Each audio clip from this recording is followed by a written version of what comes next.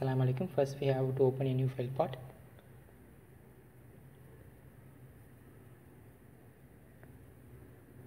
After that we are going to sketches.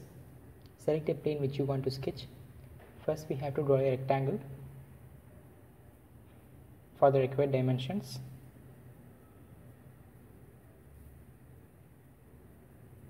Then go to the sheet metal first we have to use a base flange for creating a base of the sheet metal specify the amount of thickness for the sheet metal. After that you have to use a edge flange for creating a bend at the edge of the sheet metal. Select any one of the edges and specify the radius of bend and height of the sheet metal based upon your requirement.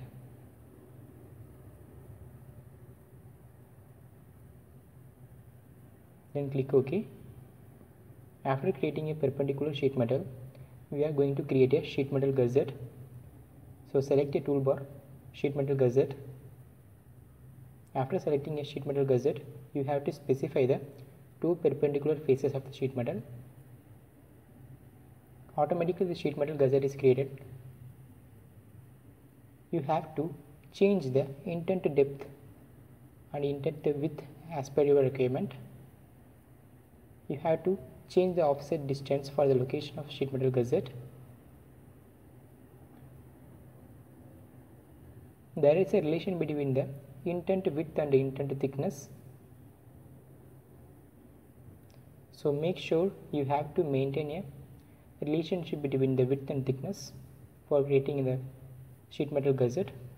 If we are not maintaining the relation, we have to reduce the indent thickness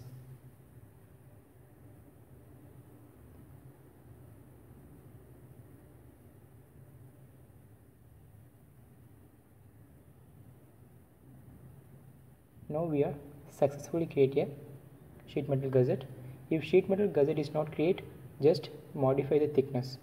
Thanks for watching